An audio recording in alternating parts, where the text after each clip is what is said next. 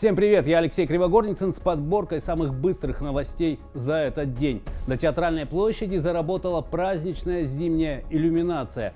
Подсветку власти включили в честь фестиваля имени Дмитрия Хворостовского, который начался накануне. Продлится он 10 дней.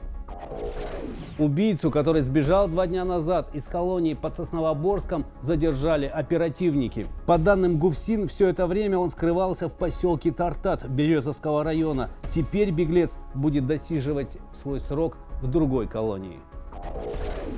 Аэрофлот начал продавать билеты на новые прямые рейсы. С весны самолеты полетят в Симферополь и Сочи. Около 15 тысяч рублей за билет. В Екатеринбург за 10 тысяч. В Новосибирск за 4 600. Кроме того, будут доступны направления в Томск, Иркутск, Омск. Лицо девушки, пострадавшей в ДТП, практически заново собрали хирурги БСМП. Пациентка поступила к ним в тяжелом состоянии. Кости средней части лица были полностью раздроблены. Операция длилась 5 часов. Спустя месяц пострадавшую выписали.